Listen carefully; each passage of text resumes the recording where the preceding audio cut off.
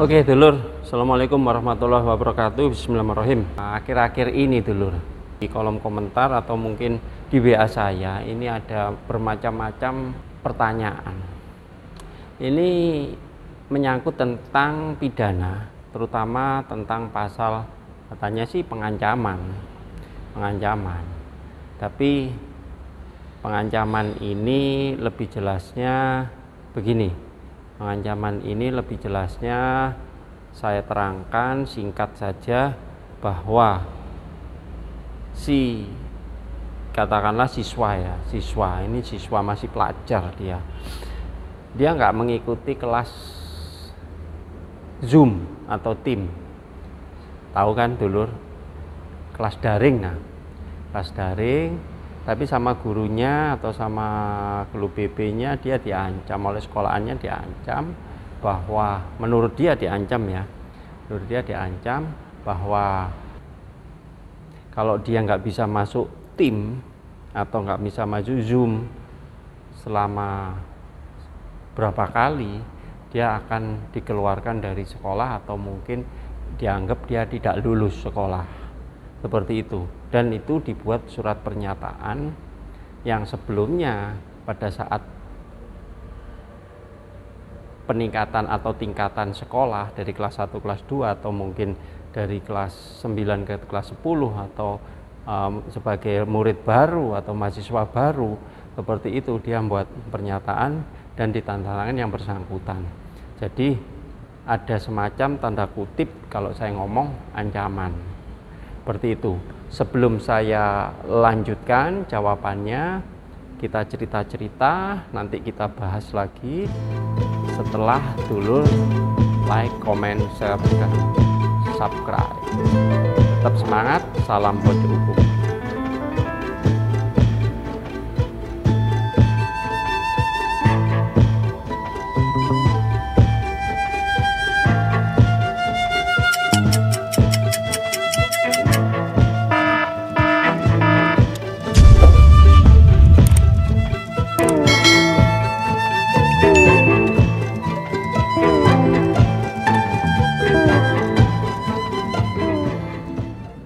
Oke, saya lanjutkan lagi, dulur.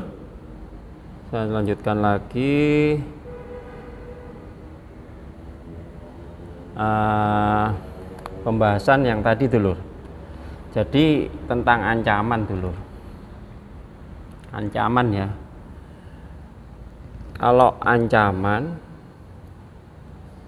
dalam KUHP yang dimaksud dengan ancaman itu kan begini dulu uh, sebelum saya ngomong tentang ancaman ini kan pidana itu kan kita dilihat dari unsur-unsurnya dulu. Kejahatan ini kan harus dilihat dari unsur-unsurnya dulu.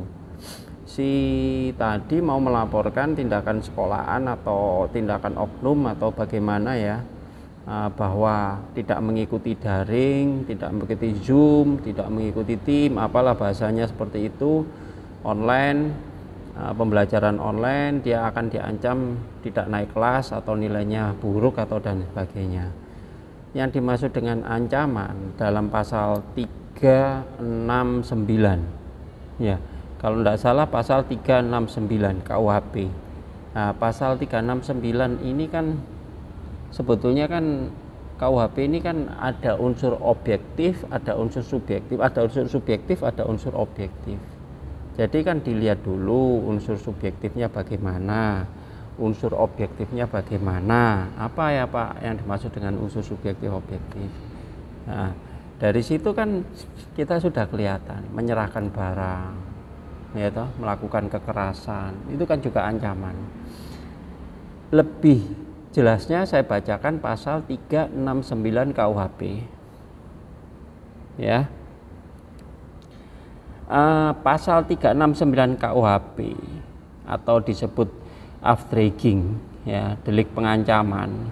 Ini ayat 1 berbunyi barang siapa dengan maksud barang siapa dengan maksud untuk menguntungkan diri sendiri atau orang lain secara melawan hukum dengan ancaman pencemaran baik dengan lisan maupun tulisan pencemaran baik dengan lisan maupun tulisan ancaman pencemaran baik tulisan atau dengan ancaman akan membuka rahasia.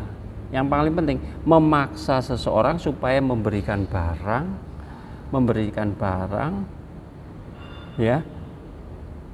Memaksa seseorang supaya memberikan barang sesuatu yang seluruhnya atau sebagian kepunyaan orang itu atau orang lain supaya membuat hutang atau menghapuskan piutang.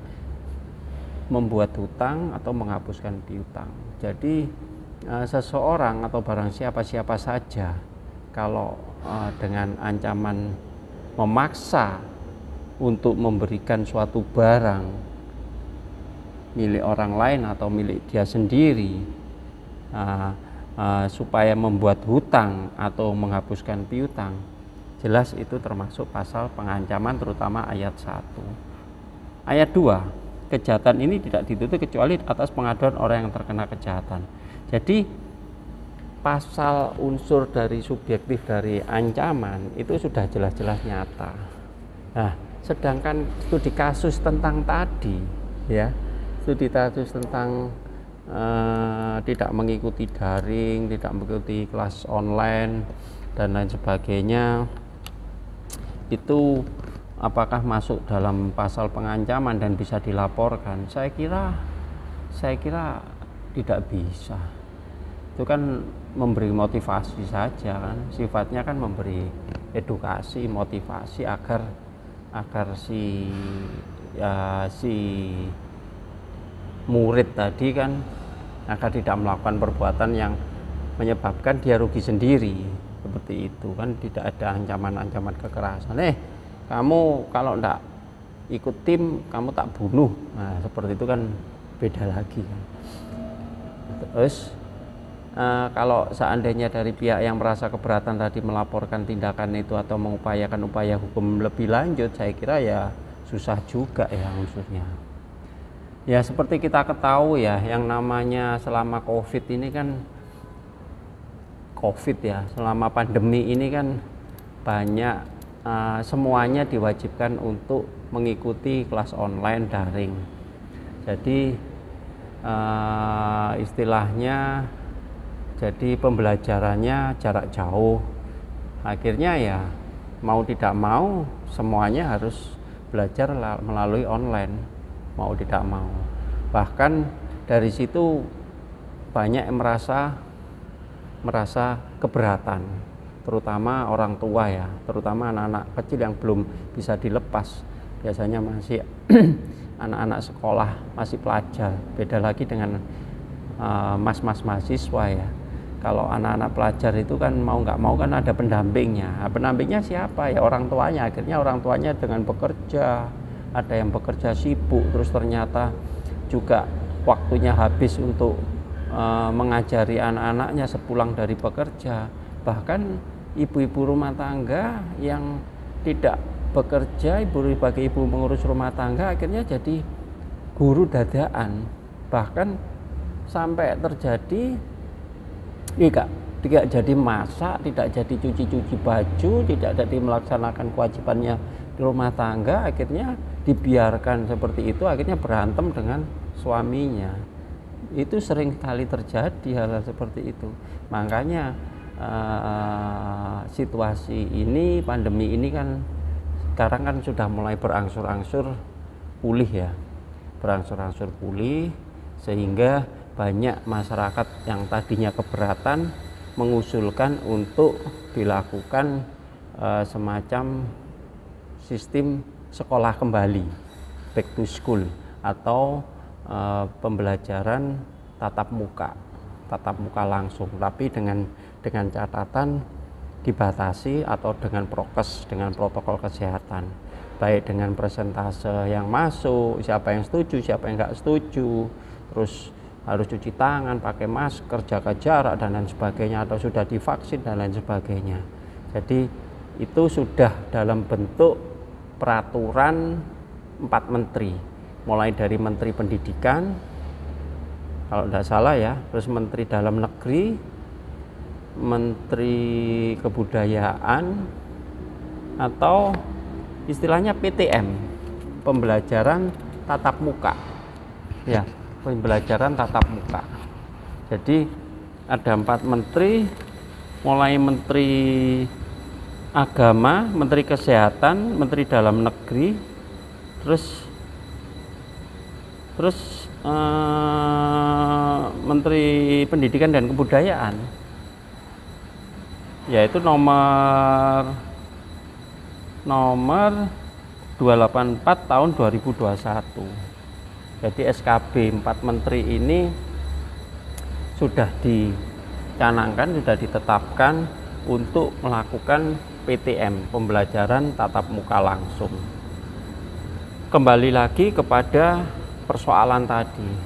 Jadi kalau ada penanya tadi menanyakan kepada saya ya sangat lucu sekali ya memang. Ya unik-unik juga yang menanyakan ke saya ini alhamdulillah. Berarti tapi paling tidak membawa wawasan kepada lainnya selain kepada penonton-penonton lain, penanya-penanya lain, kepada subscriber lain, kepada uh, yang yang melihat pojok hukum ini bahwa untuk melaksanakan pelaporan, pengaduan atau yang merasa ketidakadilan, merasa dirugikan, nah, yang disewenang-wenangi oleh hukum dan lain sebagainya itu ya harus dilihat dulu posisinya dilihat dulu unsur-unsurnya sebelum Anda melaporkan biar tidak menjadi beban beban diri sendiri maupun beban kepada si penerima laporan baik itu penyidikan, kepolisian dan lain sebagainya saya kira cukup sekian mudah-mudahan ini membawa berkah barokah membawa manfaat bagi kita semua tetap like, comment, share, dan subscribe. Salam pojok hukum. Yes. Yes, yes, yes, yes, yes.